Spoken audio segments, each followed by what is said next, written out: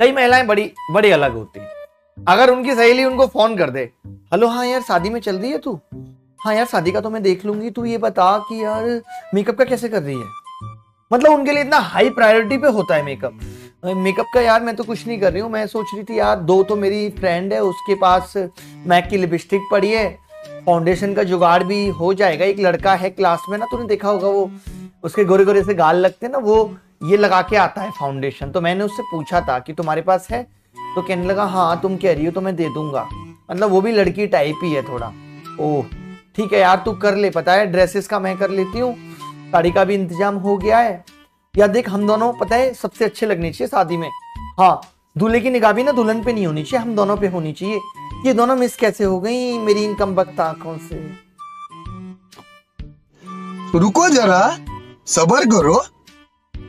Sir, यहाँ पर आपकी एनर्जी अलग रहती है। नहीं यूट्यूब पे एक अलग ही बात होती है। हम खड़े रहते हैं, सबसे पहली बात है।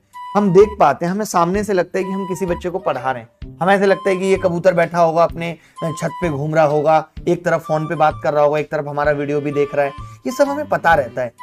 यही अभी बात करके फ्री हुआ होगा और क्लास में आ गया सीधे। अभी तो ऐसी बातें करके आया होगा, हेलो हाँ। आज क्या किया तुमने पूरे दिन में? एक भी कॉल भी नहीं किया, कोई मैसेज भी नहीं किया? क्या कर रही थी तुम नहीं, कुछ नहीं, मैं तो मेरा मूड ठीक नहीं था। अरे, क्या हुआ तुम्हारे मूड को? मुझे बताओ। बताना तो चाहिए था ना मुझे कि तुम्हारा मूड ठीक नहीं है। मैं किस लिए हूँ यहाँ? मैं आ जाता। अरे, नहीं, फिर तुम्हारी पढ़ाई थी, तुम्हारा मेन सा तो क्या हुआ? मेन से क्या हो जाएगा? नहीं दूँगा मैं मेंस बताओ तुम्हारे लिए। ये अंदाज है लड़कों का? ये हाल है लड़कों का? सर, मैं आपका टिल्लू एसएससी प्री निकल गया है मेरा। अरे वाह, टिल्लू जी। टिल्लू जी को बहुत बहुत स्वागत है बहुत बहुत नमस्कार टिल्लू जी का।